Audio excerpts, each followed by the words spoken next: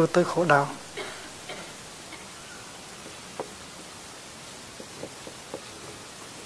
Và con đường đưa tới hạnh phúc.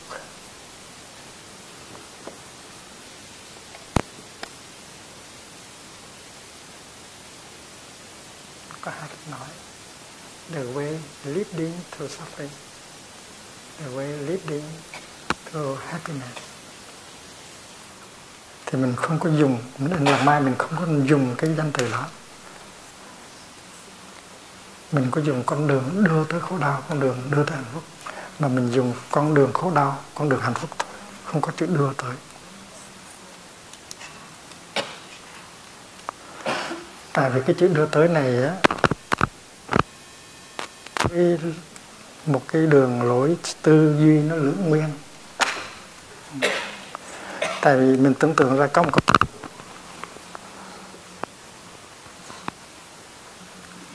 đường xa, đường dài, rất là xa, rất là dài, đi rất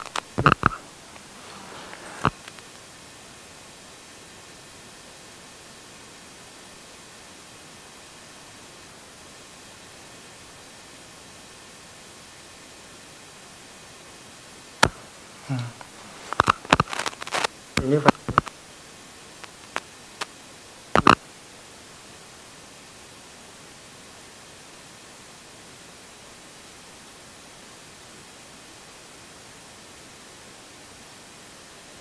hành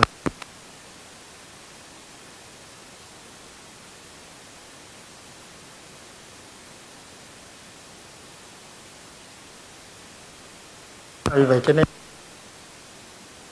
mình chưa mình phải đi hết con đường rồi mới có hạnh phúc và cái đó là cái sự sai lầm. Tức là mình nói con đường là một cái khác, còn hạnh phúc là một cái khác. Con đường là phương tiện, còn hạnh phúc là cứu cánh. Một bên là le dân một bên là lá fin một bên là means một bên là the end. Cái, cái, cái tư duy đó gọi là tư duy lưỡng nguyên. Con đường là chuyện khác mà hạnh phúc là gì khác nữa. Cho nên mình cứ tưởng tượng là con đường đó nó phải châm gai nó phải đau khổ nó phải khó nhọc. Rồi mới đi tới cái chỗ hạnh phúc. Được nó là tư duy lưỡng nguyên. Như là trong câu uh, ca dao là um, rủ nhau đi cấy, đi cày. Bây giờ khó nhọc tới ngày phóng lưu bây giờ phải khó nhọc, rồi mai mốt mới phóng lưu được. Vì vậy cho nên trong khi đi cấy, đi cày cũng có hạnh phúc và mà trong khi đó thì đi cấy, đi cày có thế có hạnh phúc lắm, tại mình có ruộng mà. Mình có vợ chồng đang còn ở chung với nhau, chưa có ly dị này. Mình có con trâu để đi cày. Có đất để đi cày, có thì giờ đi cày thành rủ nhau đi cấy, đi cày. Bây giờ khó nhọc này mới tới ngày phong lưu. Trên đồng cạn, dưới đồng sâu trồng cày vừa cấy, con trâu đi bừa. Và đó là tư duy lẫn nguyên thật ra khi mà có chồng và vợ đi làm việc chung và có con trâu nữa thì mình có hạnh phúc lắm. Cho nên trong khi cày, cấy và đi bừa, nó đã có hạnh phúc rồi. Có nhiều người vợ chồng không ở chung với nhau, không có ruộng để cày và cũng có con trâu nữa.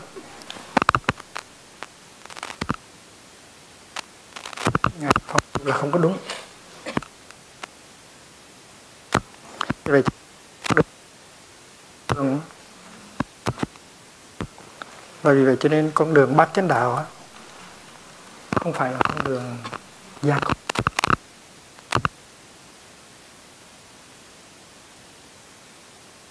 Con đường trên đó mỗi bước chân đều có hạnh phúc. Tức là hạnh phúc tức là con đường. There is no way to happiness. Happiness is the way. Đó là lý của lần bài và cái hạnh phúc này mà đi đến tới cái tột cùng đó, thì gọi là niết bàn. Đó là gì niroda và cái cách của làng mai mình nhìn á, thì đạo tức là diệt. Con đường con đường khổ đau tức là khổ đau.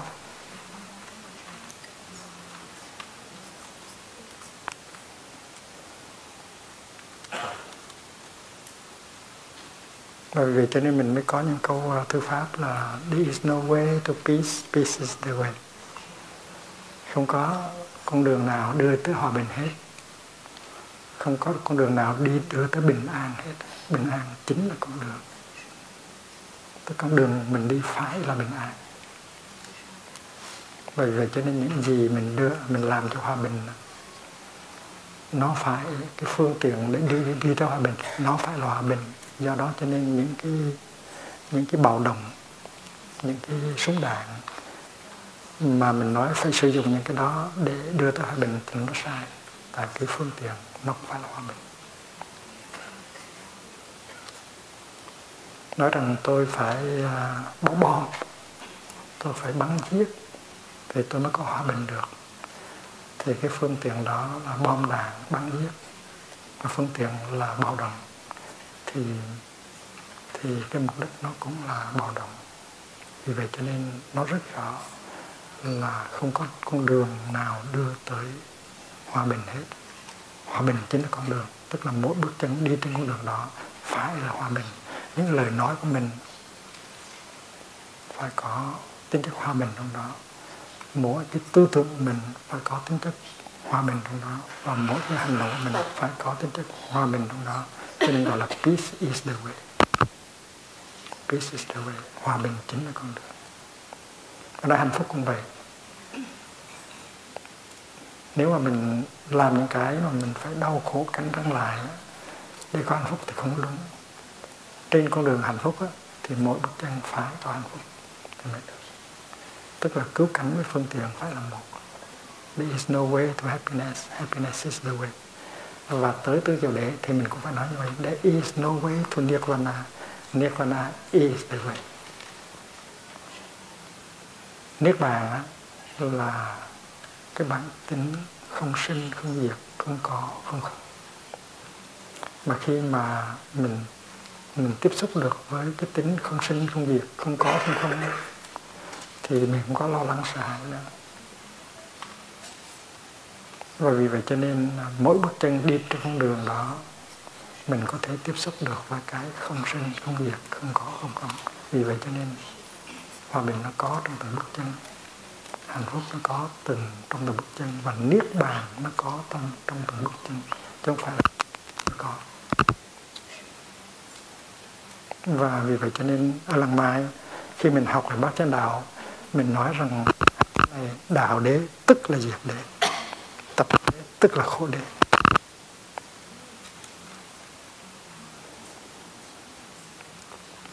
Vì vậy cho nên khi mà quý vị ngồi thiền á quý vị đừng nói tôi nghi thiền như vậy là để có hạnh phúc, là để có giác ngộ. Phải thấy rằng ngồi thiền là hạnh phúc, ngồi thiền là giác ngộ rồi. Nếu mà anh ngồi thiền mà anh khổ đau trong khi ngồi thiền, anh gồng mình, thì lúc đó anh không phải là ngồi thiền đúng. Phải ngồi như thế nào? Mà trong khi ngồi mình có an, có lạc, có hỷ, có lạc, có hạnh phúc.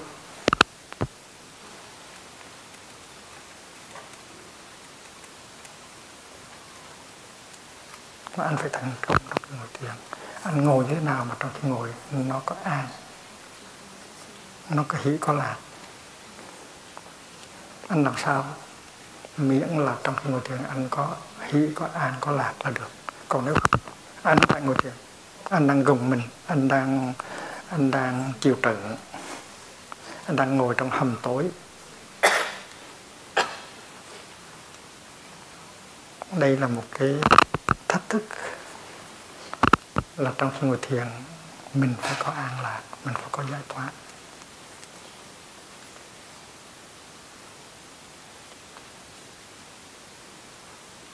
Tại vì ngồi thiền là một cái cái thời gian dễ có an lạc nhất, dễ có giải thoát nhất, dễ có dễ có hỷ hỷ nhiều nhất. Anh ngồi như thế nào? Anh thở như thế nào? Anh mỉm cười như thế nào? Mà trong nửa giờ ngồi thiền, giây phút nào anh cũng có hỷ có lạc, có an hết. Đó là là sự thực tập của anh.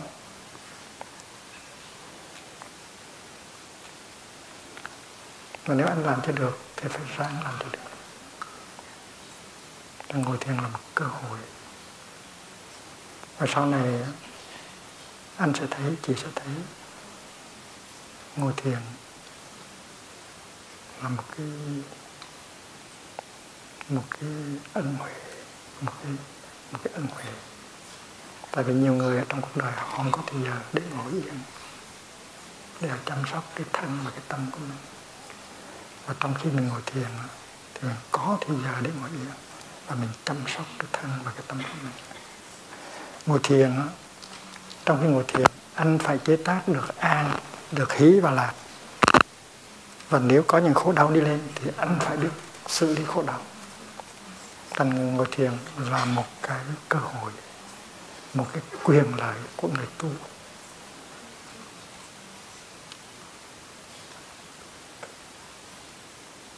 Và mình mình là người tu mà phải đòi cái cơ hội đó tôi đi tu để làm gì? Có lý để làm việc phật tôi phải có gì ở đấy? Và đó là quyền của mình. Bây giờ ngồi thiền như thế nào để có an, có hỷ?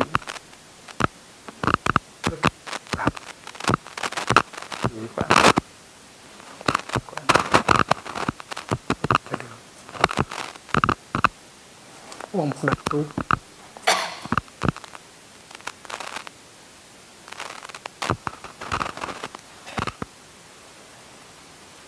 Anh có thể. Tôi xuất gia là để phục vụ tăng thân. Được vụ cho tăng thân. Nhưng mà mục chính của người tu phải là mình có hạnh phúc. Mình xử lý khổ đau của mình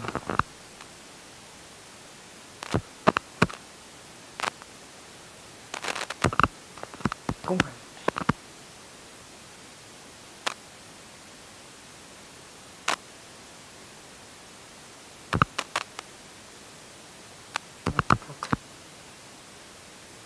đi được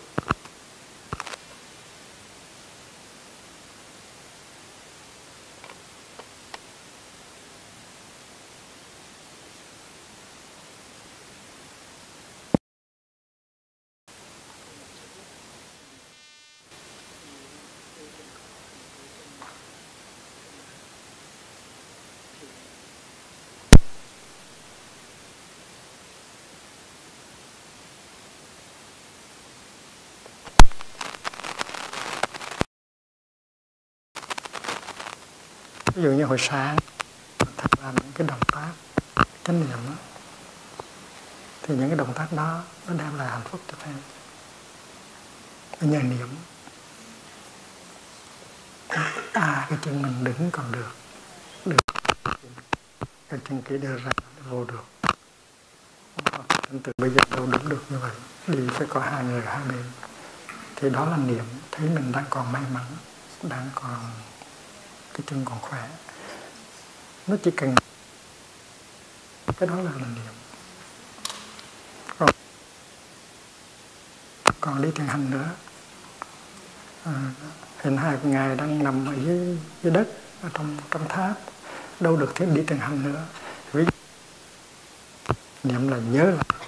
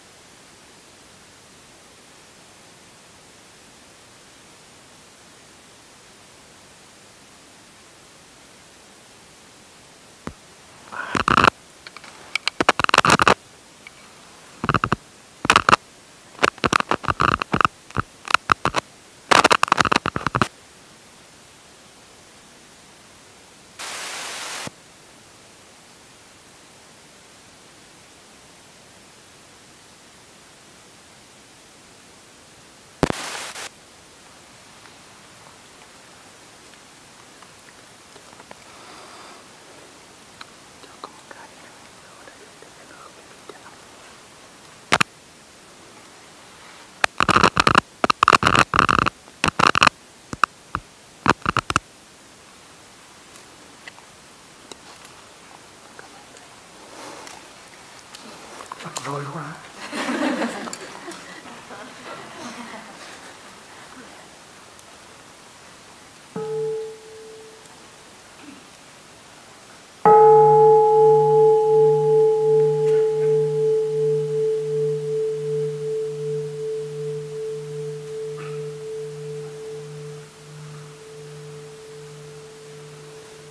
mình còn trẻ thành mình có thể tưởng tượng được mình có một ngày kia mình có thể ngồi trên xe lăn.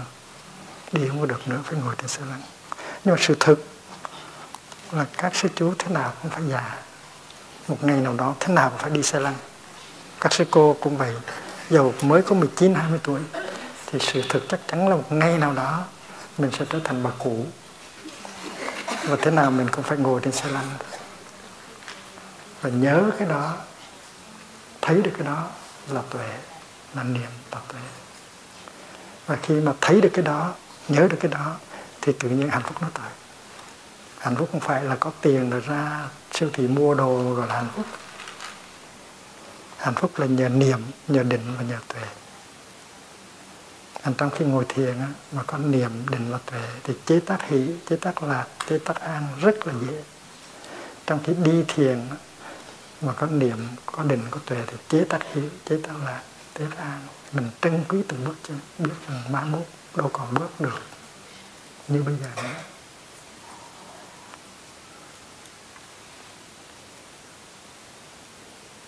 Mình đến những cái ngày còn lại của mình những cái giờ còn lại của mình.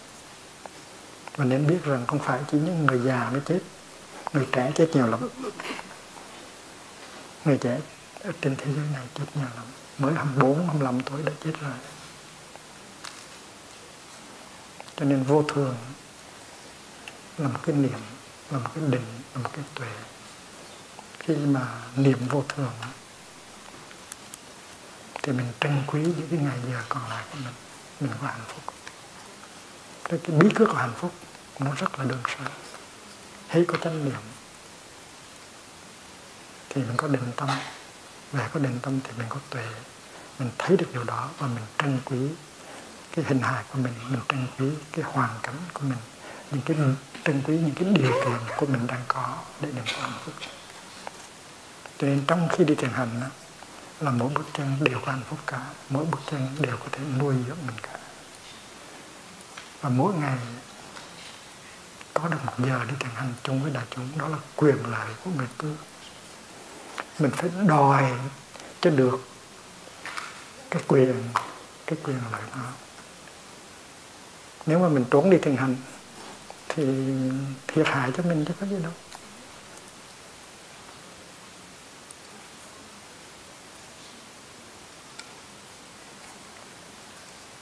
Hơn nữa, mỗi ngày mình đâu phải chỉ có một giờ để đi thiền hành đâu.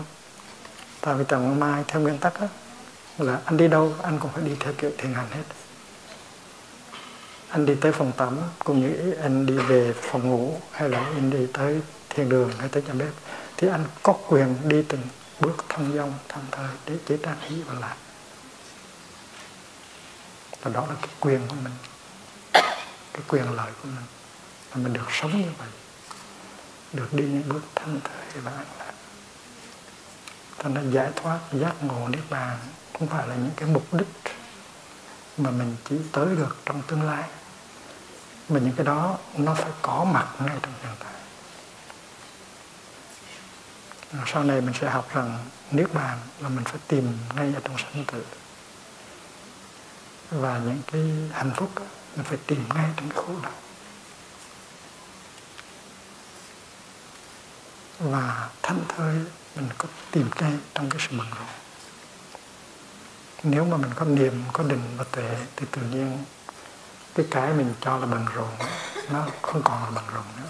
Nó là niềm vui mình đang à, hành đường. Mình đang cất nhà mình đang nấu bếp.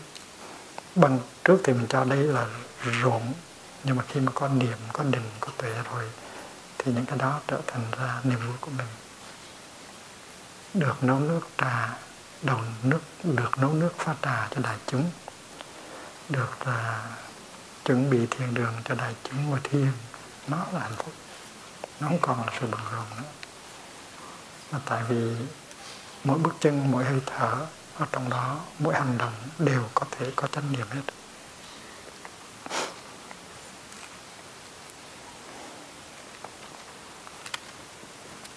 Vậy thì mình nên nhớ à, ở lần mai mình đừng có nói, con đường đưa tới hạnh phúc, mình phải nói con đường hạnh phúc. Thế khi mà anh thọ năm giới rồi á, anh bắt đầu hành trì năm giới rồi, thì anh đang đi trên con đường bát chánh. Mà con đường bát chánh là con đường hạnh phúc. Mỗi bước đều phải có hạnh phúc hết thì mới đúng. Còn anh nghĩ rằng là năm giới, con đường bát chánh là cái gì? Mình phải cực nhọc, mình phải lao tác nhiều, mình phải chịu khổ nhiều thì mới có hạnh phúc là anh sai rồi. Đó là con đường hạnh phúc, chứ không phải con đường đi tới hạnh phúc. Con đường hạnh phúc nó khác con đường với hạnh phúc là một không phải là hai.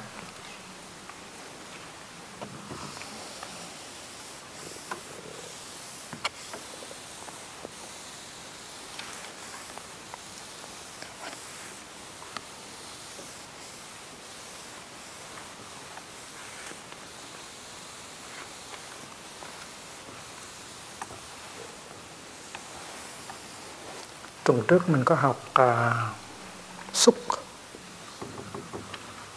là một tâm hành trong năm, tâm hành.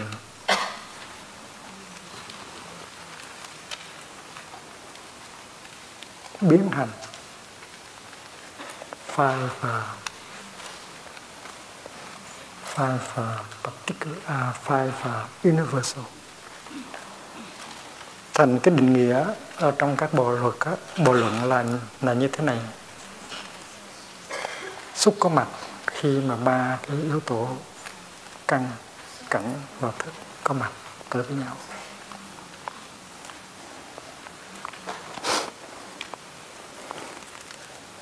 Thầy An Huệ Stiriamati định nghĩa xúc như vậy và thầy à, Hồ Pháp Đạt Ma Pala cũng định định nghĩa như vậy. Khi mà ba cái nó có mặt là căn cảnh và thức nó có mặt. Thì xúc phát sinh.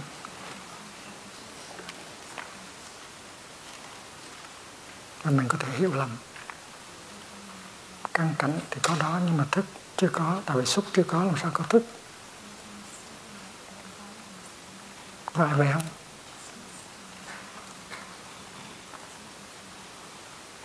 Nó có căn, tức là nó có cái organ essence.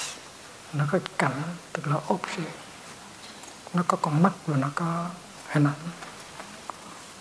Thì mình thấy được nhưng mà thức đã có đâu mà nói là ba cái tới gần với nhau.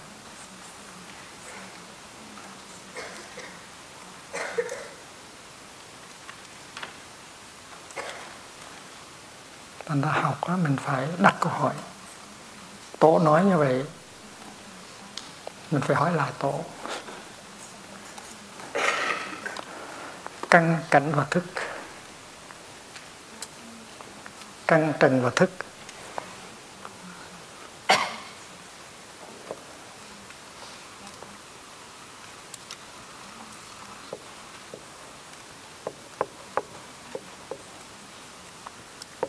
Ba cái nó có mặt với nhau. Thì nó sinh ra xúc định nghĩa như vậy thì mình phải hỏi thì tổ bắt buộc phải trả lời cho mình ta nói là bạch thứ tổ, con thấy có, con mắt này. Con thấy có hình ảnh mà con mắt nó tiếp thu này. nhưng mà con đâu thấy thức đâu. Tại vì xúc chưa phát sinh mà.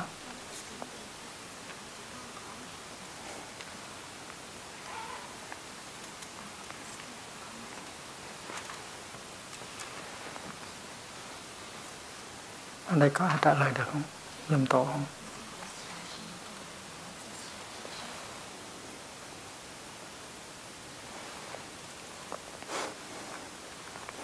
Là tại vì trong trong cái căn, trong cái giác quan, trong cái năm cái giác quan của mình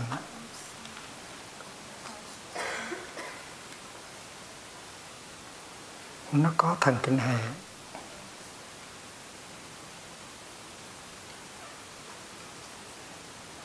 Nó có thần liên hệ. Căn nó có hai loại.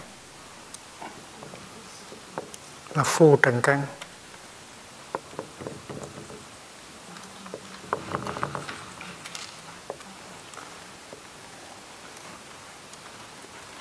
Tức là cái hình dáng của cái của cái ờ, với cơ quan ừ, Ừ, cảm giác đó bây giờ có mắt. Đứng ở phương diện tổng quát mà nhìn đó, thì con mắt của mình là phù trần căn lỗ tai của mình là phù trần căn phù tức là nó nổi lên bên trên. Mình thấy được. Nhưng mình núp sau cái căn đó nó có những cái thần kinh như là thần kinh thị giác là thần kinh à, à, um, tỷ giác. Cái đó gọi là thắng nghĩa căn. Thắng nghĩa tức là nó sato. The sato organ. Cái này là the gross organ cái này là là subtle ở trong này nó có dây dây thần kinh dây thần kinh thị giác dây thần kinh tị uh, khứu giác dây thần kinh vị giác. Mà nếu không có cái dây thần kinh đó thì không có xúc được. Và cái căn đó là một căn đang sống. Tại vì người chết cũng còn con mắt phải không? Người chết cũng còn con mắt, cũng còn lỗ tai, nhưng mà con mắt đó không còn sống nữa, lỗ tai nó không còn sống nữa. Nghĩa là không, trong đó không có thức. Khi một người bất tỉnh một người trong cái trạng thái gọi là coma bất tỉnh, thì tuy là người đó không biết gì hết, mê man không biết gì hết, nhưng mà người đó vẫn còn sống. Có phải như vậy không? Tại vì sau này mấy giờ đồng hồ thì người đó tỉnh dậy thôi. Người ta lấy nước lạnh, người ta tưới vào trong bạc thì người đó tỉnh dậy. Hoặc người ta chích một mũi thuốc thì người đó tỉnh dậy. Vì vậy cho nên trong khi mà mình không biết gì hết là không có thức. Nhưng mà nó có tâm. Nó có tâm. Mà tâm đó nó duy trì sự sống. Và cái tâm đó, nó là tàn thức. Không có ý thức, nhưng mà có tàn thức. Không có ý thức thành ra mình không có biết, không có thấy, không có nghe gì hết. Nhưng mà có tàn thức. Nếu không có tàn thức thì người đó chết rồi, lạnh như đồng rồi. Vì vậy cho nên thức tâm lúc luôn luôn, lúc nào cũng có. vì vậy cho nên trong di biểu học á nó có chữ chitta là tâm. Nó có chữ à, manas là ý. Và nó có chữ vijnana là thức.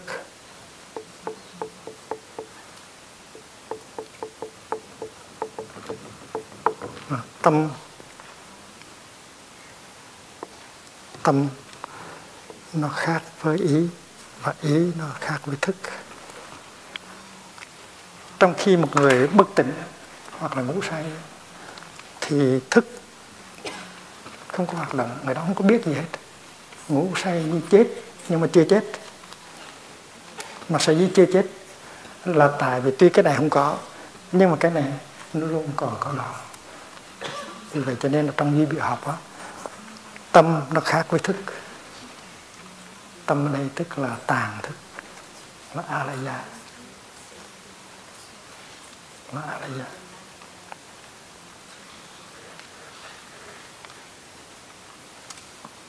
mà sở dĩ mình mê man bất tỉnh mà, mà mình còn sống được đó, là tại vì tâm tại vì a la gia thức nó còn. Thức này là a tức là thức thứ tám đó. Tuy có thể là thức thứ sáu và năm cái thức đầu không còn hoạt động nữa, không có biết gì hết, nhưng mà cái thức thứ tám nó vẫn còn duy trì sự sống của thân. Vì vậy cho nên nói rằng là căn có đó, trần có đó mặt thức cũng có đó, tại vì mình đang còn sống.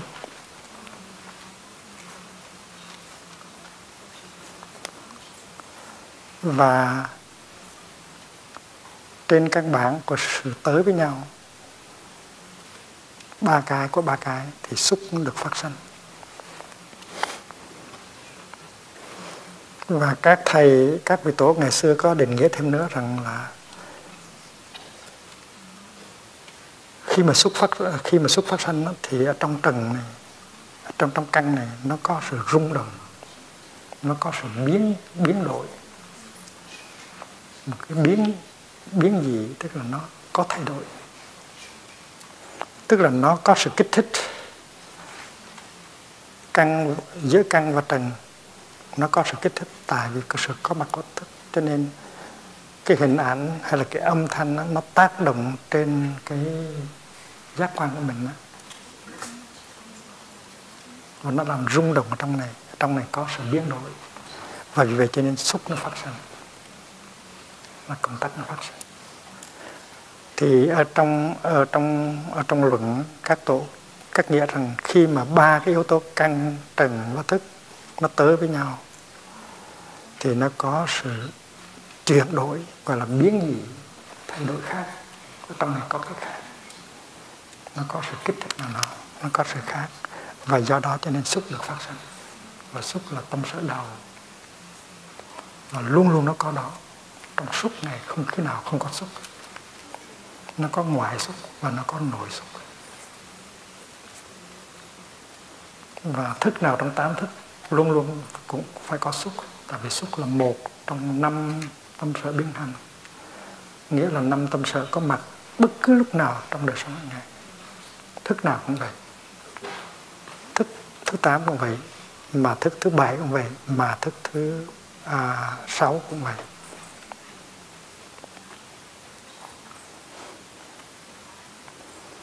Thì cái chitta này là tượng trưng cho thức thứ tám, tức là tàng thức, tức là store consciousness.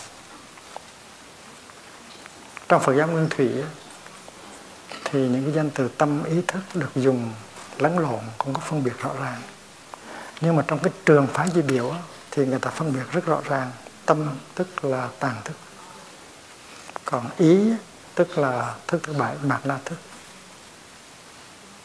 và thức là sáu thức đầu. Có năm thức cảm giác và cái thức thứ sáu gọi là ý thức. Thì cái thức mana, manas này là thức thứ bảy. Cái cái viana là thức thứ sáu và năm năm cái thức cảm giác. Năm cộng với thức thứ sáu là sáu. Cộng với thức thứ bảy là bảy. Cộng với thức thứ tám store là tám. Cho bây giờ mình mình nói sơ lược để có một cái ý niệm là thức thứ tám nó gọi là tàng thức. Tàng nó có nghĩa là chứa chứa chất.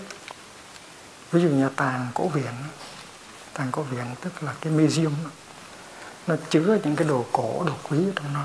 Đừng đừng để mất. Thì tàng thức nó làm công việc đó. Tàng thức nó có khả năng học hỏi, learning, và nó có khả năng giữ gìn, preserving learning và preserving những cái kinh nghiệm của mình. Ví dụ như mình học một bài hát hay là mà học tiếng Anh, thì tất cả những gì mình đưa vào thì tầng thức học hỏi. Mình hát câu đầu thì mình chưa thuộc. Hát câu thứ hai đỡ đỡ hơn chút. Hát câu thứ ba, thứ tư à, thì nó in vào sâu. Và tự nhiên mình hát ra được từ hát ra được, thì cái đó gọi là learning. Nó cũng giống như cái máy tính này nó tiếp thu những cái dữ liệu, những cái information. Và nó có cái khả năng gìn giữ những cái những cái dữ liệu đó, đừng để cho mất. Thì đó là tác dụng của của tăng thức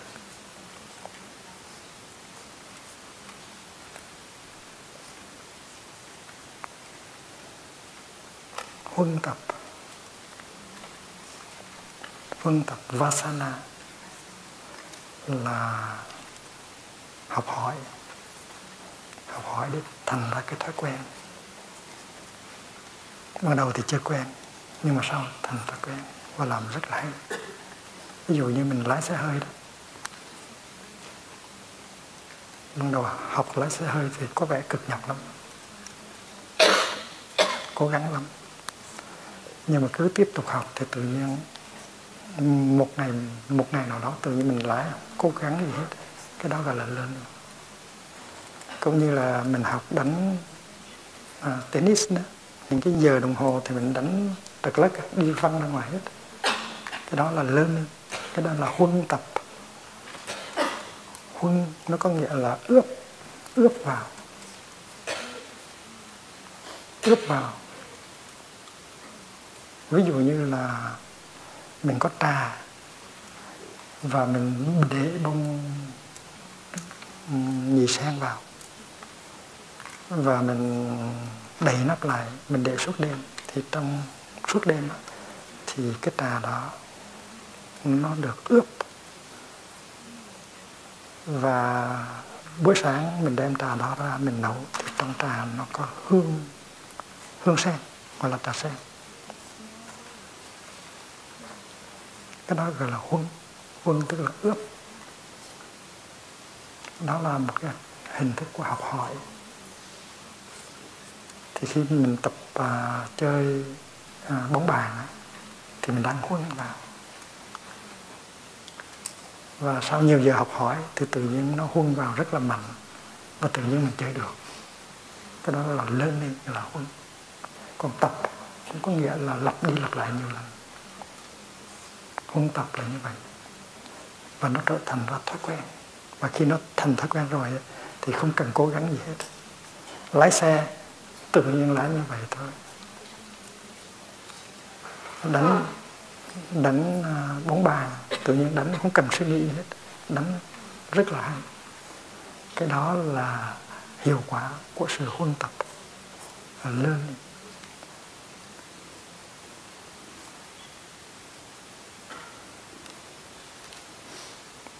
và cái tàn thức,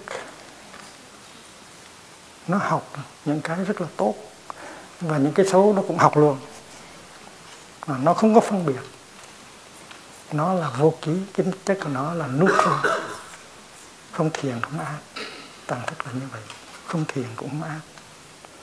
Cái xấu nó cũng học mà cái tốt nó cũng học. Và chính cái ý thức phải biết. Phải biết tàn ơi mình đừng học mấy cái này. Mày học mấy cái này sao tao lãnh đủ. Ừ, thì cái, cái ý nó phải phải như vậy. Là ý nó có thể phát sinh phát sinh khởi chánh niệm.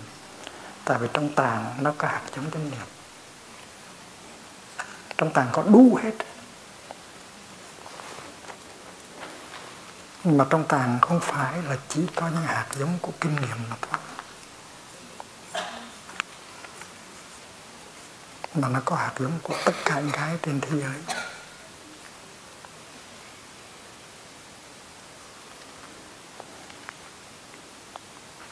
Cái núi núi sông mà mình thấy cụm từ ở dưới đó đi lên. Những cái tinh hà, những cái ngôi sao trên trời cũng từ trong tạng thức đi ra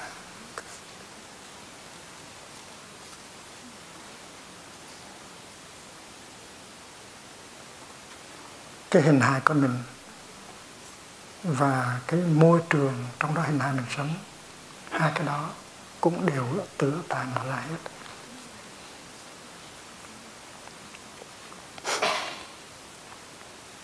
Cái hình hài của mình á, dân từ chuyên môn gọi là căng thân căng thân là lý do gan là có. Sense organ and the body là căng căng thân còn cái thế giới trong đó có căng thân cái danh từ chuyên môn là khí giới. Khí tức là vật chất tức là à, sự vật. Giới tức là cái, à, cái, cái, cái lĩnh vực. Giới tức là khí giới tức là domain resource. The realm of uh, phenomena.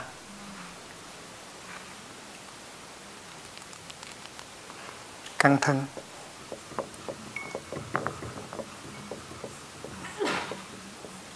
tức là hình hài của mình với là năm căn. Và khí giới.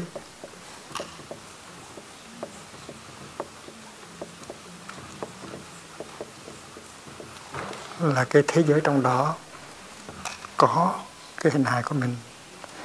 Cái này là vũ trụ. Cái này là những ngôi sao cái này là không gian, cái này là thời gian, cái này là sông, là núi, là cây, là cỏ, là địa cầu, là mặt trời. Tất cả đều từ từ trong tàng mà đi ra hết. Mà cái tàng này nó không phải là của riêng mình, mà nó còn là của chung nữa. Rồi mình có danh từ biểu mà mình đã học kỳ trước đó. Biểu tức nghĩa là biểu hiện ra cho mình thấy để mình nhận thức. Thì tất cả những cái mà mình thấy trong lĩnh vực hình hài và trong lĩnh vực thế giới là nó đều được biểu hiện từ tàng mà ra hết. Mà tàng này không phải là một cái ngã, tàng này không phải là một cái gì cá nhân mà thôi. Nó là cộng đồng. Ừ bây giờ quý vị học một cái ờ, thử, thử dùng một cái ờ, cái ví dụ là đây ví dụ đây là đại dương the ocean. Mà từ đại dương này á, nó phát sinh ra một đám mây.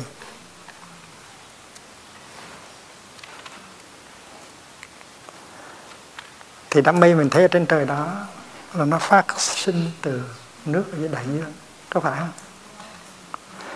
Thì tàn á, nó được ví dụ cho đại dương. Và hình hài của mình nó ví dụ như là đám mây nếu không có cái này thì không có cái này.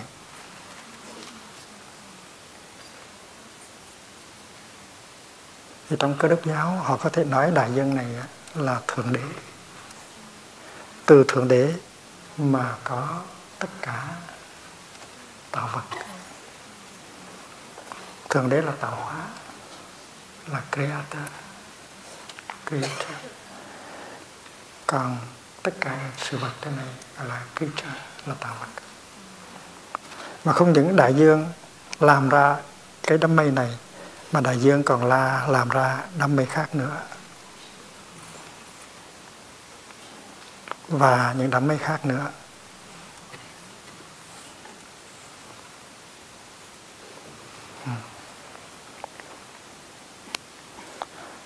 Thì giữa những đám mây này á, nó có sự tương tác nó có sự liên hệ dương khởi với nhau. Đám mây này giúp sinh ra đám mây kia đám mây kia giúp và chuyển hóa đám mây này. Giữa các đám mây nó có sự tương tác. Đám mây có thể là trước đây nửa dòng hồ nó nhỏ nhưng mà bây giờ nó lớn. Tại vì có những cái đám mây khác nó tới à, nó gia nhập. Thành ra những đám mây đó không có cái ngã riêng không có cái ta riêng. Khi thì nhìn lên mình thấy nó có hình cái áo khi nhìn lên thì thấy nó có hình con chó hay là trái bí thì nó thay đổi như vậy đó. Là tại vì nó tương tác với nhau. Thì cái liên hệ giữa đó gọi là pháp giới duyên khởi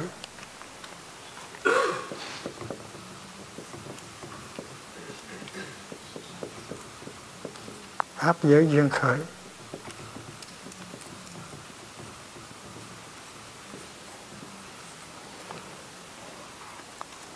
Tức là interdependent arising among phenomena.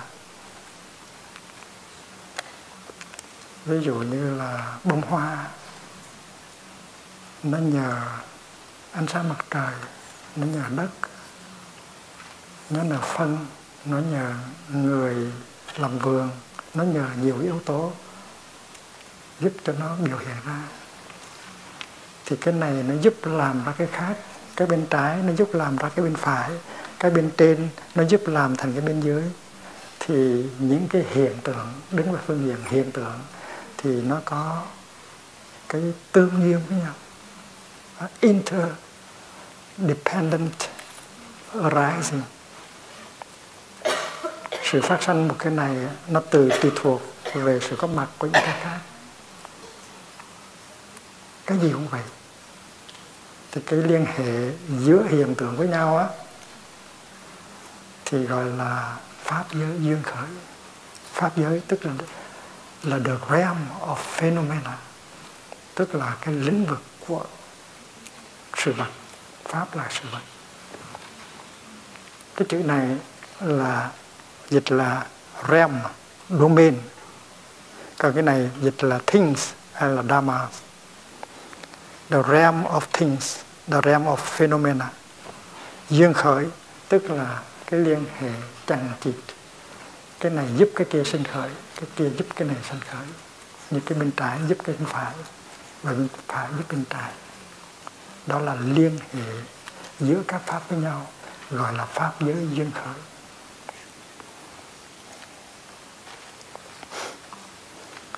Nhưng mà dưới này mình có đại dương.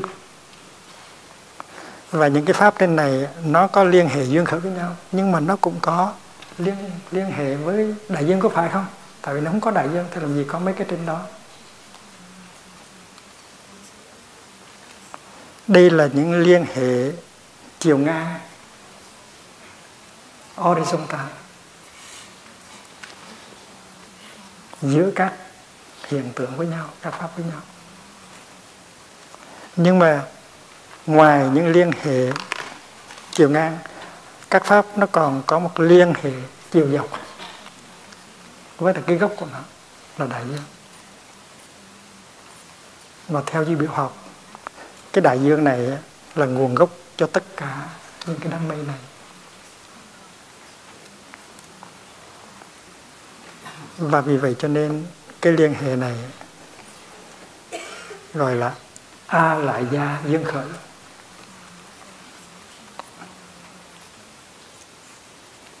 A là gia dân khởi. Into arising with store consciousness. Đó là relationship between man and God. Relationship between the noumena and the phenomena. Liên hệ giữa thế giới bản thể và thế giới hiện tượng. Liên hệ giữa thế giới tích môn và thế giới bản môn. Không sao. Hiểu không? Có rắc hơi rắc rối không? Dễ ở cả.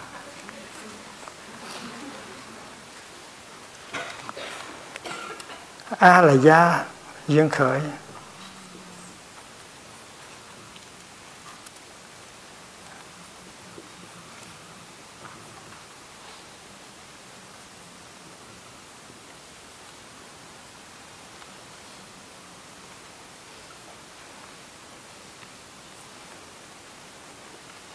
A là gia duyên khởi là cái liên hệ chiều dọc và pháp lý duyên khởi là là cái liên hệ chiều ngang hiểu không. Ví dụ như là các sư con là học trò của thầy thì chơi với nhau học với nhau gọi là chiều ngang. Nhưng mà có liên hệ với thầy gọi là chiều dọc.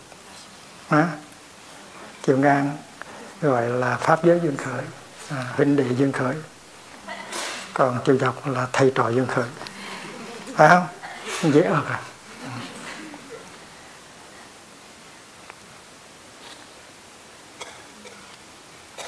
Nhưng mà còn một cái loại duyên khởi nữa ừ, rắc rối lắm. Các tổ bày ra nhiều trường quá là mình học mệt hơn luôn. Gọi là chân như duyên khởi. À.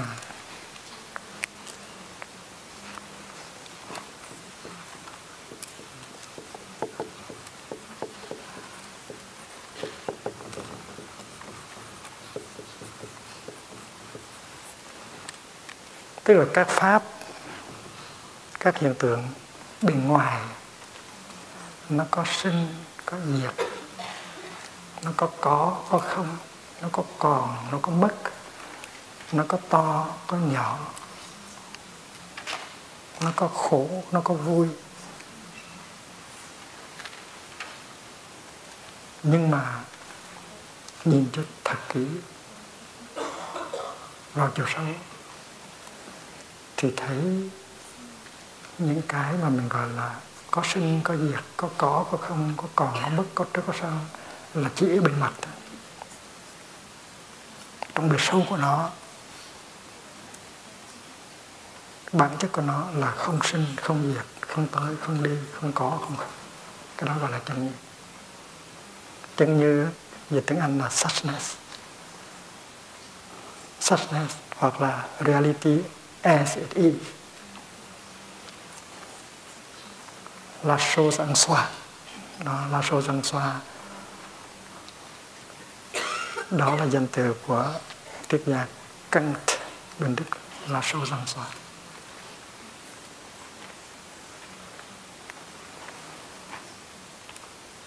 Things in things in, and by itself in themselves là sâu răng xoa. Tức là sự vật trong cái bản chất đích thực của nó. Đó là chân lý.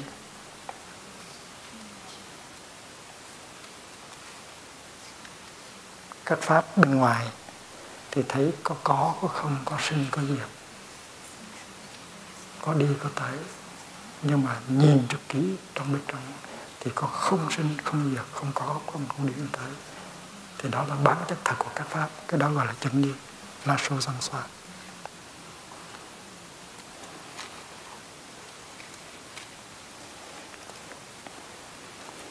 tiếng pháp họ dùng chữ incite để dịch uh, tiếng như entity còn tiếng Anh nó dùng chữ suchness. Nói vậy đó anh không có nói được anh có thể dùng ngôn ngữ của anh mà nói được. Nó là nó thôi anh có thể nào nói về nó được.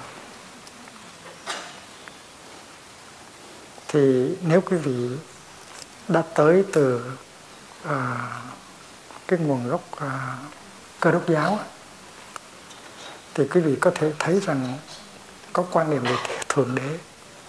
Thượng đế là cái gốc thượng đế là cái bản chất à, thượng đế là chân như thượng đế là thế giới không sinh không diệt không có không không. Nói thượng đế là không thì không đúng mà nói thượng đế là có cũng không đúng luôn. Tại thượng đế là chân như nó vượt thoát cái sinh cái diệt cái có và cái không.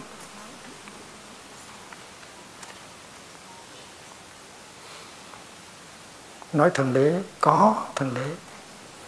Là giảm giá của thượng đế. Thượng đế không có thuộc về một phía.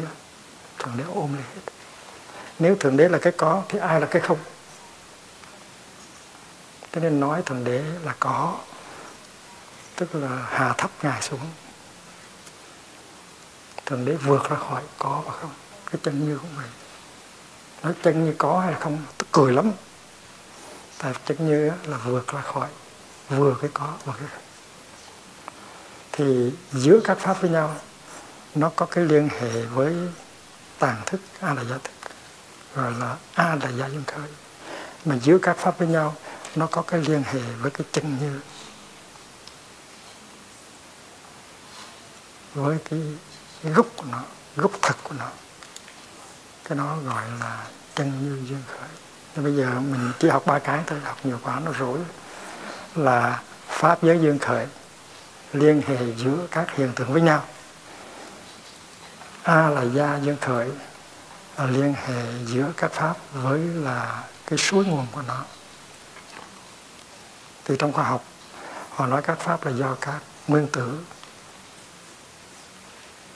các uh, điện tử à, các ừ, các hạt đó các hạt à, uh, hạ nguyên tử à, số atomic. Và có người nói rằng là các pháp là do những cái những cái à,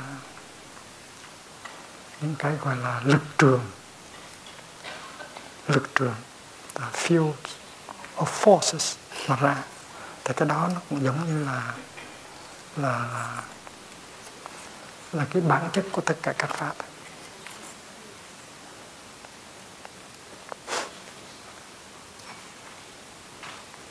Về khoa học nó có những cái cái thuyết nói về cái bản chất của các pháp. À, có thuyết nói rằng là bản chất của các pháp là những cái sợi dây là theory of course để cọt được còn người nói thì có người nói là do những cái hạt có những cái hạt cái cái nọ. Ở trong đạo buộc á, thì nói là tất cả đều được biểu hiện từ alaya và alaya tức là store. Cái này nó tương đương với là những cái những cái hạt hạt nguyên tử của khoa học hay là những cái uh, những cái lực trường uh, force force fields của khoa học. Nhưng mà tất cả đều thuộc về phương diện bản thể hết. Và mục đích của mình là đi tìm cái cái chân như cái suchness cái bản chất của nó.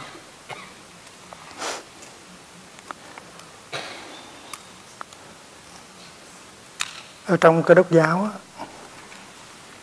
đa số những người theo các đốc giáo đều bị đều bị vướng vào cái lời thoái tư duy lưỡng nguyên. Là cái gốc của các pháp là thượng đế, nó không phải là các pháp. Các pháp là tạo vật. Các pháp là tạo vật, là creature. Trong khi đó, trong khi đó thượng đế là creator.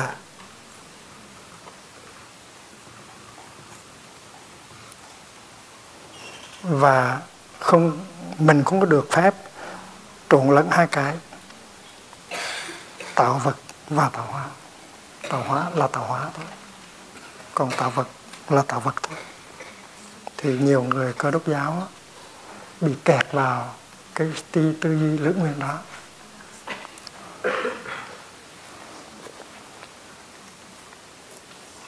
và họ không thấy được rằng là ngoài cái tàu tàu vật mình đi tìm tàu hóa không có ra nữa. Nhưng trong trường hợp vi biểu thì nó rất là rõ. Tuy đây là đại dương, tuy đây là mây, nhưng mà nhìn vào trong mây thì mình thấy đại dương. Mây chính là đại dương rồi. Cái chân như đó cái NCT đó nó nằm ngay ở trong mình và những người cơ đốc giáo họ không ngoan á, thì họ nhìn vào một bông hoa họ thấy thượng đế. Họ tìm thấy thượng đế ngay trong tạo vật ví dụ như thánh uh, François d'Assise có ông đi thiền hành ông tới một cái cây uh, một cái almond tree, một cái hành nhân.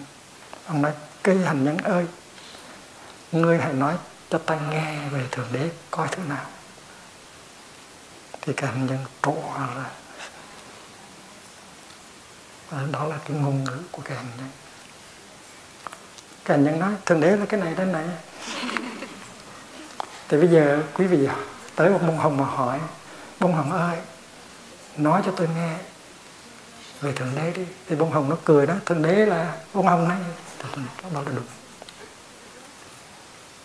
thành những cái pháp thân màu nhiệm hay là niết bàn tính tình tâm là cực lạc thế giới, đều nằm ở trong mỗi bông hoa, đều nằm ở trong mỗi hạt lá, đều nằm ở trong mỗi cây à, cái gì?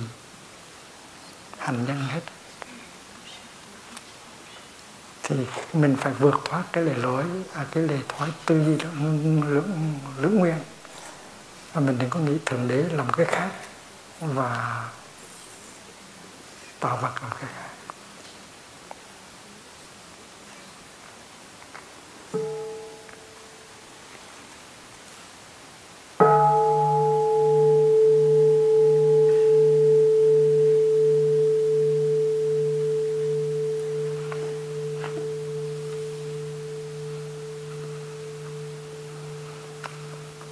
Thì bữa hôm nay mình có học pháp giới duyên khởi, là interarising giữa các hiện tượng với nhau. Là pháp giới duyên khởi. Và khi mà mình đi vào di biểu thì mình thấy rằng tất cả những cái biểu hiện đó là từ cái gốc này mà ra cái đó gọi là chitta, cái đó gọi là alaya, cái đó gọi là tàng thức. Thì cái liên hệ chiều dọc đó mình gọi là alaya. Duyên khởi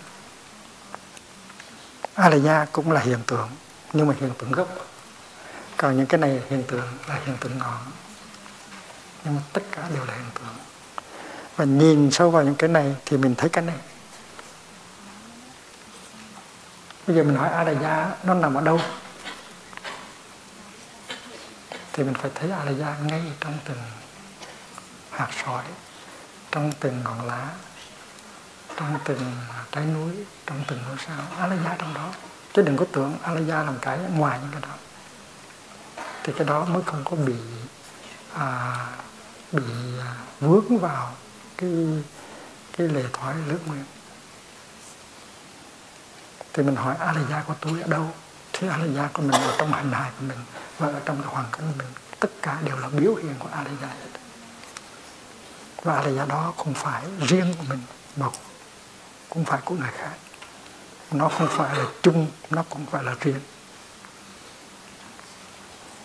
Cũng như là nói rằng cái đam mê này, nói là cái này là của riêng tôi, cũng đâu có được. Cái đại dương này, cái đam mê này là nói cái đại dương này là của riêng tôi, không có đúng. Tại vì cái đam mê kia nó cũng từ cái a gia đó. Còn anh của mình, chị của mình, em của mình, bạn của mình đều từ một cái gốc đó mà ra hết. Và giữa chúng ta có một liên hệ rất là mật thiết. Chúng ta cùng một cha, chúng ta cùng một mẹ. Cái đó, ở trong cái gì biểu học nói cha đó mẹ đó là là tàn thức. Mà tàn thức mình cũng là cha mà mình cũng là mẹ mình cũng là tàn thức. Tại mình là biểu hiện biểu hiện của tàn thức. We are all manifestation of à, Alaya, of store. Bây giờ mình học thuộc ba cái chữ đó pháp giới duyên khởi. A là da lên chân khởi và chân như chân khởi.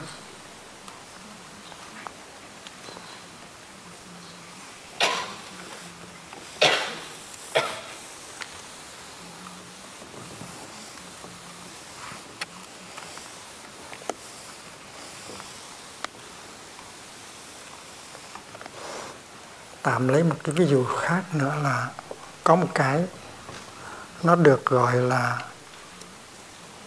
H2O ừ. mình gọi tên nó là H2O nó là một thứ là da của một cái khác. Thì thì H, H, H2O nó có thể biểu hiện thành một đám mây. Nhìn vào trong đám mây thì mình thấy H2O mình nhìn vào trong tuyết thì mình cũng thấy H2O và khi mà mình nhìn vào trong nước đá,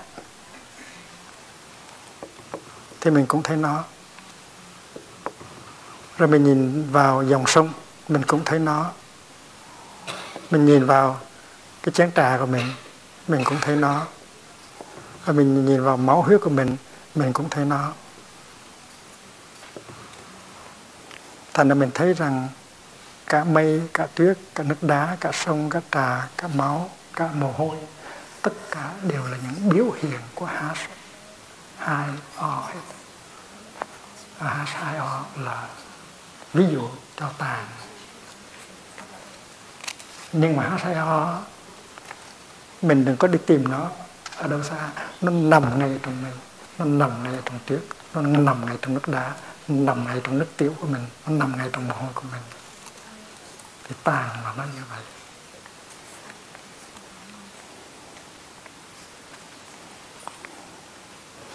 Và giữa những cái này, nó có liên hệ với nhau.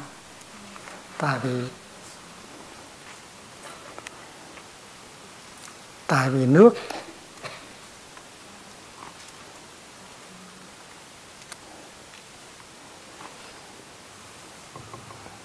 mình quên lại chữ nước ở đây chứ cái nước này nếu mình đem nấu sôi á có nhiều đồ lớn thì nó thành ra cái gì? Hơi nước. Hơi nước.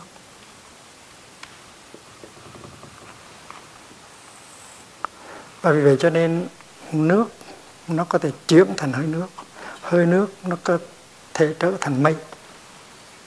Hơi nước mà tức, tức là một cái loại mây và mây nó có thể trở thành tuyết tuyết có thể trở thành nước lạ để liên hệ giữa nhau, cái đó gọi là pháp giới duyên khởi.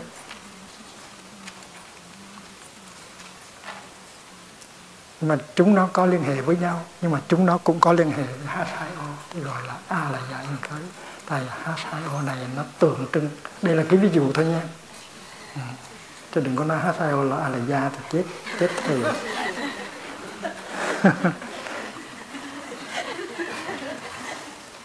là nó như vậy đó.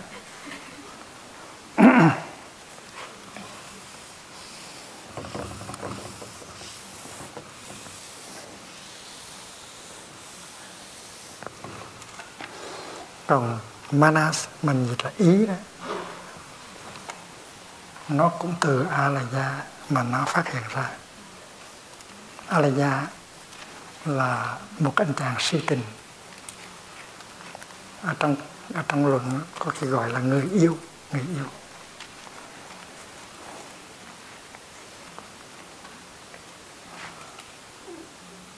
Những cái đam mê đó mà mình thấy biểu hiện đam mê nào cũng có thể tưởng tưởng rằng mình là quan trọng nhất, mình là đẹp nhất. Mình là không phải đam mê kia nó có cái sự mê mờ như vậy đó.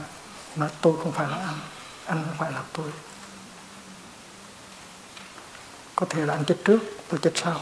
Và những cái như vậy giữa các đám mây với nhau, nó tạo ra những cái rối rắm, những cái ganh tị, những cái buồn khổ giữa các đám mây với nhau. Là tại vì các đám mây đó nó không biết rằng họ không phải là những cái ngã riêng biệt họ là anh em của nhau, họ là những sự biểu hiện khác nhau mà từ một gốc hết.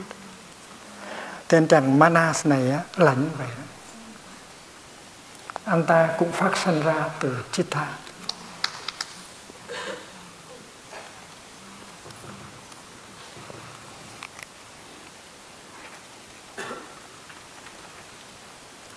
và anh ta tin rằng có một cái ta để trân quý để giữ gìn để bảo vệ để phụng sự.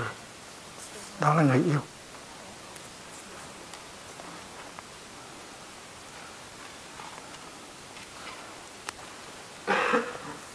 Tàng thức. Trong tàng thức, nó có những cái hạt giống.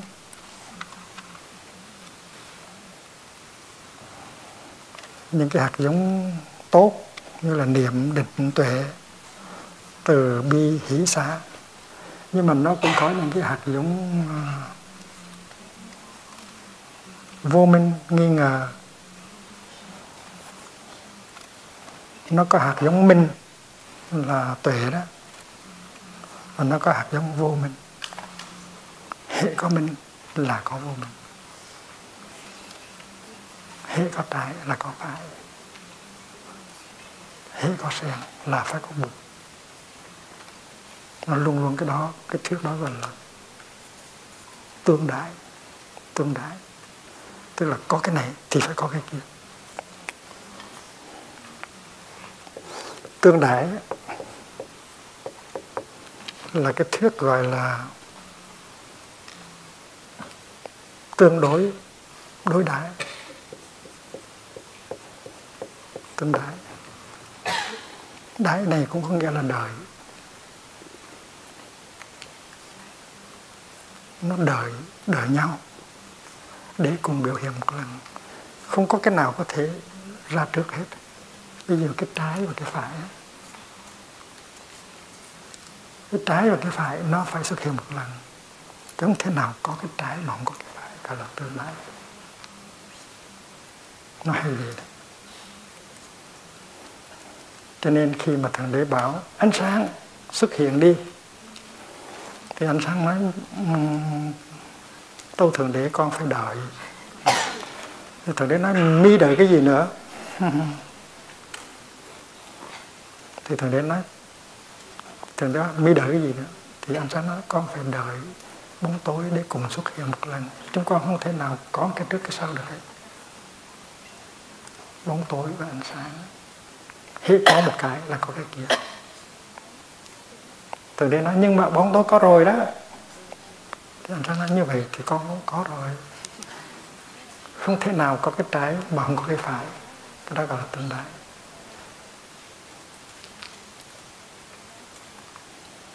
cái đó là nó giống như là cái cái, cái lý thuyết về symmetry.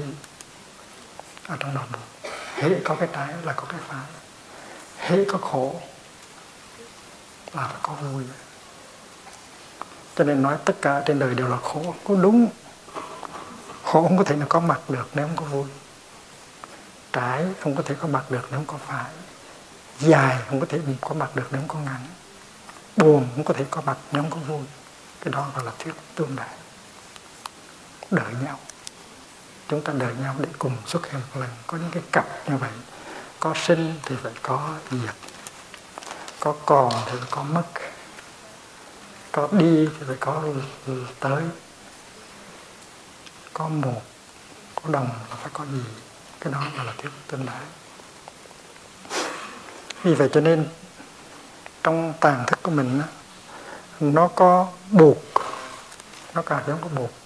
Và cố nhiên nó có hạt giống của ma. Tại vì không có ma thì không có buộc. Chúng sanh là những con người có khổ đau.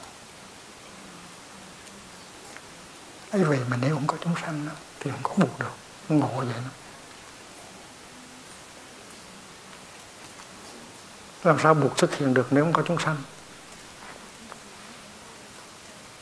Buộc ở đâu mà ra? Buộc là từ chúng sanh mà ra. Nhờ có chúng sanh cho nên mới có buộc. Vì cho nên hết có buộc là phải có chúng sanh hễ có bông sen là phải có buồn. Không có buồn đố bông sen có được. Đó gọi là tương đại. Cái đó gọi là tương đại.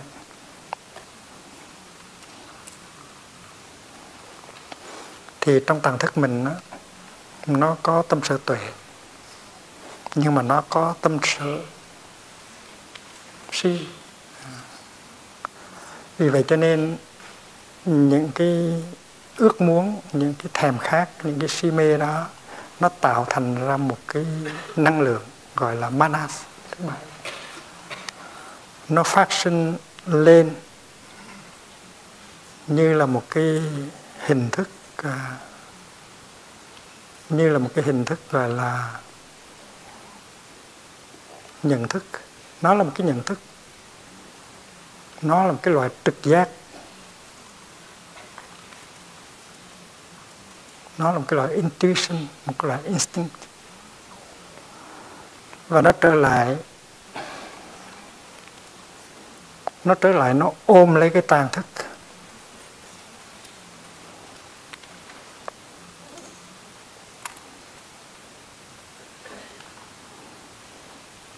Nó phát sinh từ tàn và nó trở lại ôm một phần của tàn và nó cho đây là một cái ngã cần phải bảo vệ cần phải chăm sóc, cần phải thương yêu.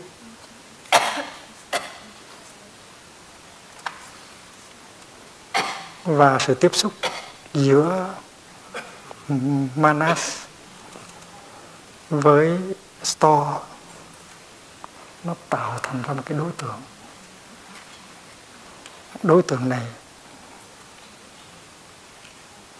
là người được yêu còn đây là người yêu, cái người được yêu ở đây. Nó cũng giống như là mình mình khi nào mình yêu một cô nào đó, thì mình tưởng là mình yêu cô đó. Nhưng kỳ thực mình yêu một cái hình ảnh mà mình tạo ra từ cái cô đó. Cô đẹp từ trong ra ngoài, từ trên xuống dưới. Cô là một người perfect. Ừ, là mình tạo ra một cái hình ảnh của người yêu lý tưởng. Khi mà mình yêu thì thường thường là mình tạo ra một cái hình ảnh như vậy. Mình sống ba, bốn năm rồi mình biết. Ba, bốn năm thì mình biết rằng cái hình ảnh kia là một cái sáng tạo phẩm của tâm thức mình, chứ không phải là thiệt thì cái anh chàng Manas này đó, nó phát sinh ra từ những cái lực lượng tham ái, mê mờ, và nó trở lại ôm lấy một phần của tàn, và nó tạo ra một hình ảnh. Cái đó gọi là cái ngã, cái ta. Đó là người yêu của nó. Cần phải bảo vệ, cần phải nuôi dưỡng.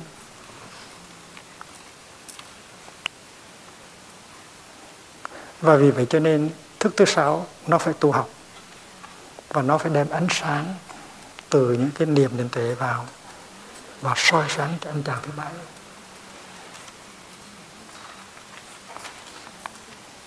Và giúp cho anh, anh chàng thứ bảy chuyển hóa những cái mê mờ của anh ta.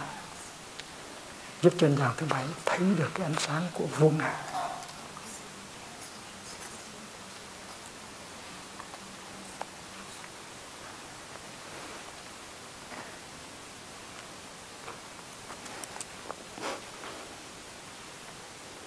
Có một lần à, thầy đi qua ý để để mở khóa tu thì có đi ngang qua một cái vùng một cái, một cái đồng một cái một cái đồng trồng cây à, trồng cây ô liu.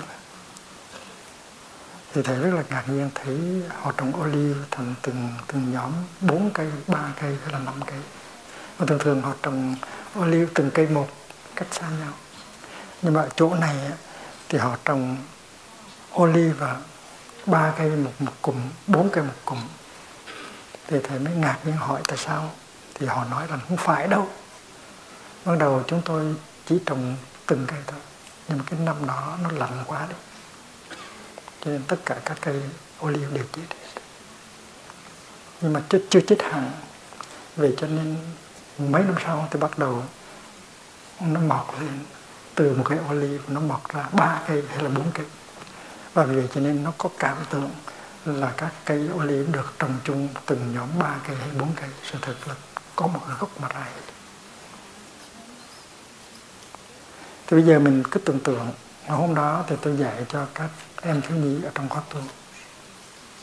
Nếu mình nhìn sâu, mình thấy rõ ràng là ba, bốn cây liu đó nó từ một gốc mặt ra hết. Mà giả sử bốn cây liu đó nó nói, tao là tao, mày là mày. Ừ tao đẹp hơn mày mày xấu hơn tao. Mày phải nhường cho cho tao. Thì bốn cái ô liu nó đánh lộn nhau, là tại vì nó mê mà nó biết rằng bốn, tuy là bốn, nhưng mà kỳ thực là một. Và nếu những cái ô liu đó nó đi sâu vào cái nguồn gốc của nó, thì nó tìm thấy rằng nó là nó, nhưng mà nó cũng là cái cây kia. Và nó thoát ra khỏi cái ý niệm bốn cây là bốn cây riêng biệt bốn cây là có cái bốn ngã, bốn cái ngã riêng. Thì ở đây cũng vậy đó. Ví dụ mình lấy bột với đường, mình làm bánh, mình nặng ra chừng bảy chục cái bánh, rồi mình bỏ vào lò. Thì những cái bánh ở trong đó nó dành chỗ. Tao phải ở được ở chỗ này ở trong lò, rồi nó tranh tranh nhau. Mà nó không biết rằng tất cả đều từ một cái khối bột bánh mà ra hết. Thì thì thì cái anh chàng Manas này anh chàng bị che lấp.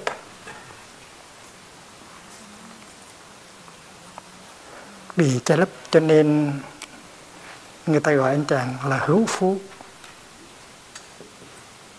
là bị che. Còn anh chàng này là không che gọi là vô phú.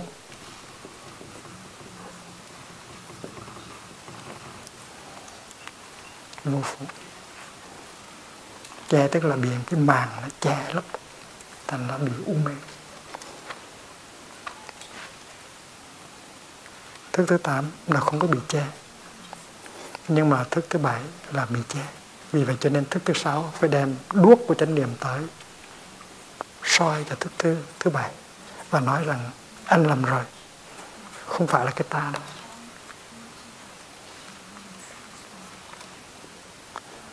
Thì cái hoạt động của anh chàng thứ bảy đã bảy này nó được uh, biểu hiện bằng bốn cái tâm hành. Căn bản gọi là ngã.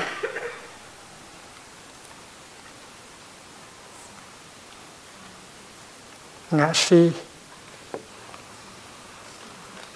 Tức là ignorance about the self cũng như là cái bốn bốn cái cây ô liu đó, nó mê về cái à, về cái ta cái ta đang biệt. Cái thứ hai, cái tâm hành thứ hai là ngã kiến. A view about a separate self. Ignorant about the self. And a wrong view about self.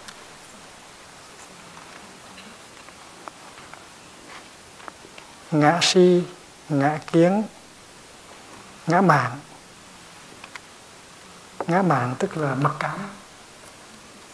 Mặc cảm mình thua người kia, hoặc là mình hơn người kia, hoặc là mình bằng người kia.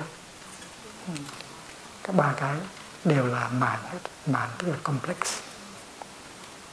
Ba mạng tức là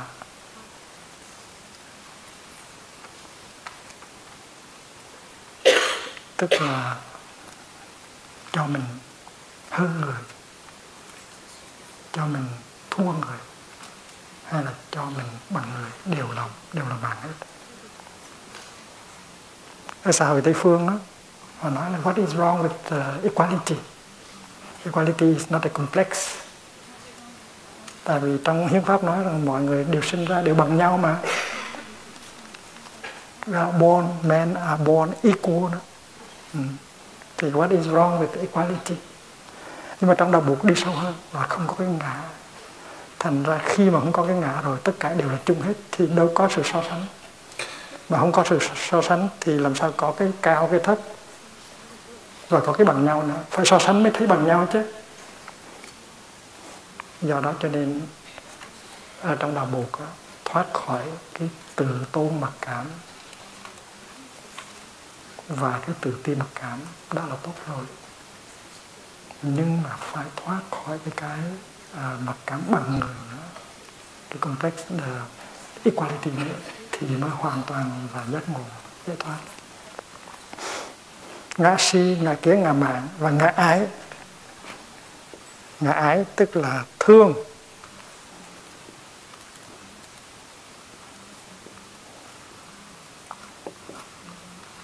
Ái là love cho nên cái thức thứ bảy này, thầy Văn Trang gọi là tình tình nhân.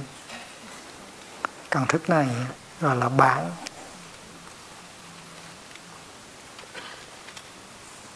còn cái này là tình. Bản là gốc, tình là người tình. Và thức thứ sáu và năm thức này nữa nhưng mà cái thức thứ bảy này nó dại dột lắm. Cho nên mình phải tu để soi sáng cho nó.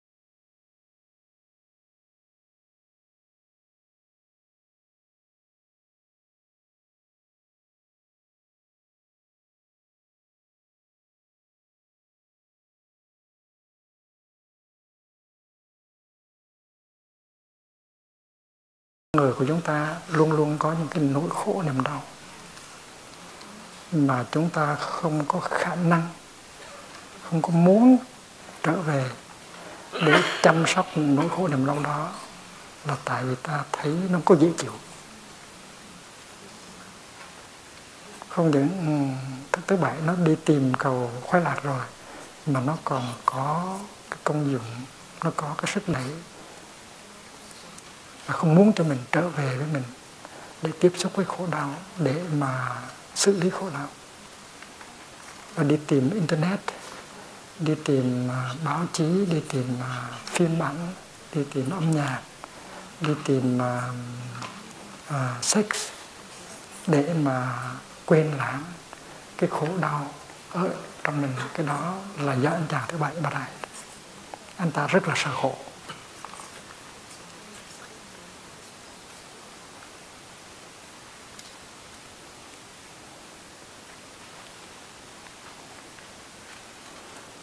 Và cái tính cách thứ ba của anh ta là không thấy được. Không thấy được những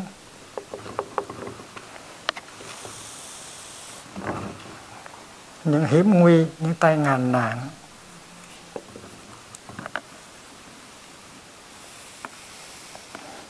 Lau cái này đi rồi uống quá không tìm không thấy được những cái tai họa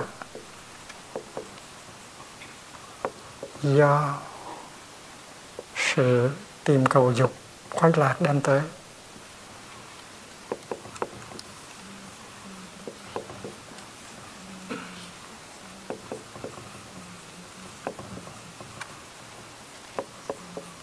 Uh, he ignored the dangers of pleasure seeking đó là nhà thứ bảy. Để vẽ lại nhà thứ bảy trong thôi. Chàng thứ tám ha. Anh chàng thứ bảy từ đây sinh ra. Nó ôm lấy cái này.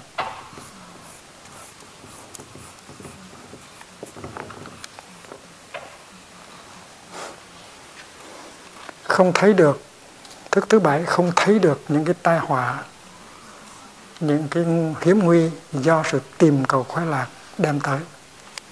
He ignore the dangers brought about by pleasure seeking. Vì vậy cho nên thức thứ sáu phải có mặt để mà thính một tiếng chuông mà mày coi chừng nghe. Chết rồi. Có những chàng thanh niên họ đi họ họ, họ, họ đi truy cập ở trên mạng á.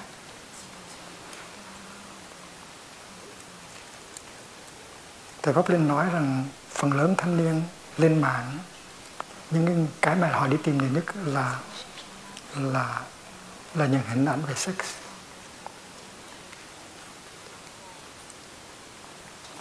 Mà trên đó nhiều lắm.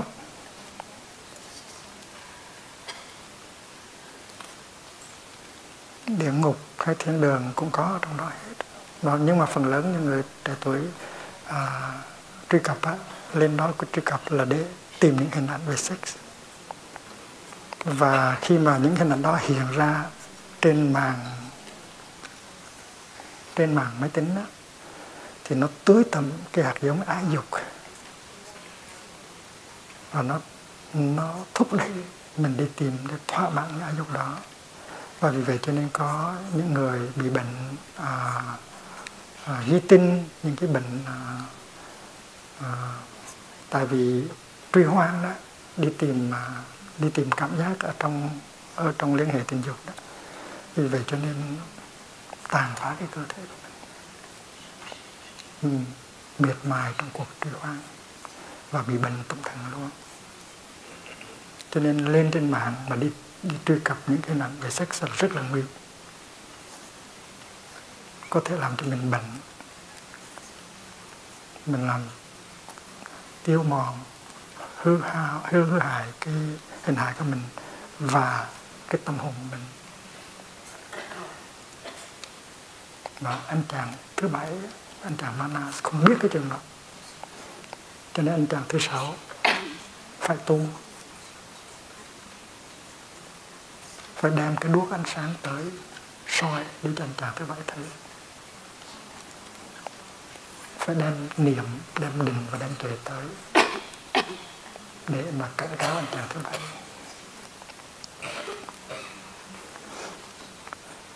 Thức thứ ba, không thấy được những tai họa do sự tìm cầu khoái lạc đem tới. Và thức thứ ba à thức thứ bảy, và thức thứ bảy không thấy được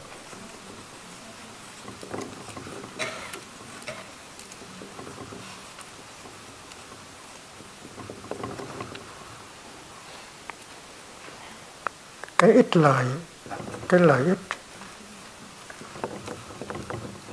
của khổ đau.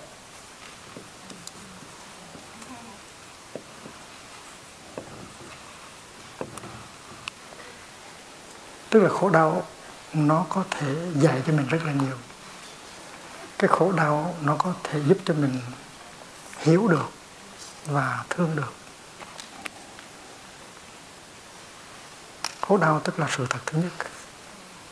Nếu mình quán chiếu khổ đau, nếu mình có can đảm trở về để nhận diện khổ đau, để ôm lấy khổ đau và nhìn sâu, thì tự nhiên mình có tự giác về khổ đau.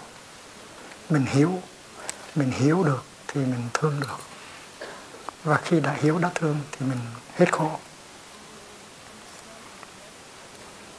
Và mình thấy rất là rõ khi mình nhìn vào một người nào đó và mình thấy được những cái nỗi khổ, niềm đau của người đó. Và mình thấy người đó là nạn nhân của cái khổ đau đó. Người đó không biết tu, không biết xử lý khổ đau, cho nên người đó khổ đau dài dài. Và thấy được như vậy thì tự nhiên nó phát khởi cái hiểu và cái thương. Mà khi cái hiểu và cái thương nó phát sinh ra rồi thì mình không có giận người đó nữa. Mình không còn trách người đó nữa mình không còn muốn trừng phạt người đó nữa. Trái lại mình muốn làm cái gì đó để cho người kia bớt khổ. Tức là từ bi và trí tuệ nó được phát sinh từ khổ, từ sự quản chiếu khổ đau. Và khổ đau nó có cái vai trò rất là tích cực. Nhờ khổ đau mà mình biết hiểu và mình biết thương. Cũng như nhờ có buồn thì mình mới làm ra hoa sen được. Thành cái anh chàng thứ bảy không có thấy được cái vai trò tích cực của khổ đau chỉ nghĩ khổ đau là cái tiêu cực thôi.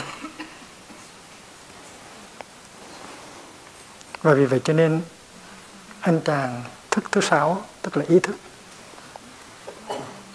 thực tập niệm định và tuệ, đem ánh sáng tới soi cho anh chàng thứ bảy. Nói mày phải biết đừng có sợ khổ. Chính nhờ tiếp xúc được với cái khổ, ôm lấy cái nỗi khổ mà mình có thể chịu hóa được. Đó là vai trò của thức thứ sáu thứ thứ sáu là người làm vườn. Còn thứ thứ tám là khu vườn.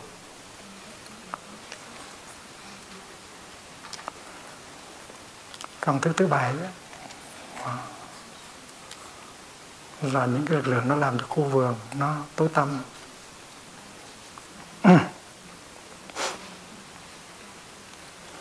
Và cái thứ năm á, là cái đặc tính của cố thức thứ bảy là không không biết được.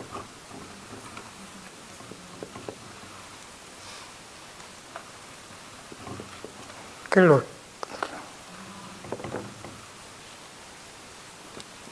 có sự chừng mực he ignored the law of moderation. Đi tìm khoái lạc và cứ và cứ tiếp tục à, truy hoang. Và cứ tiếp tục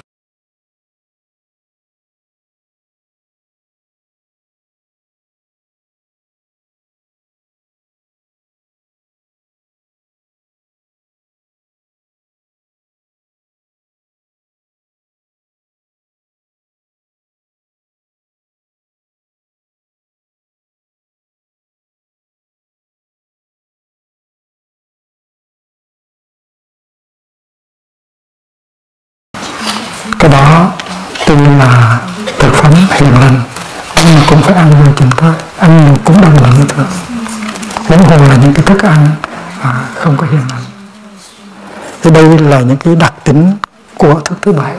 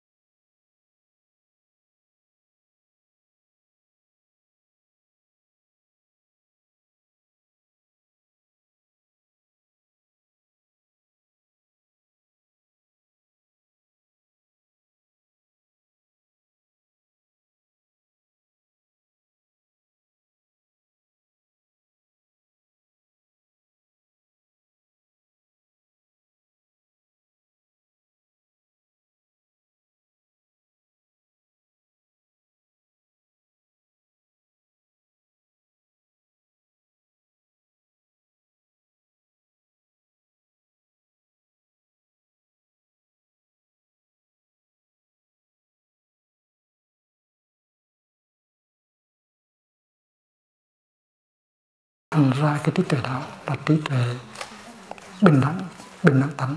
Tức là không thấy có ngã nữa, mà chỉ thấy sự liên hệ nhịp nhàng giữa các pháp với nhau, không thấy có ngã riêng nữa. Tôi không phải là tôi tôi cũng là anh. Anh không phải là anh anh cũng là tôi nữa. Thì lúc đó là thấy được cái vô ngã và những khổ đau nó giảm thiểu rất là rõ ràng.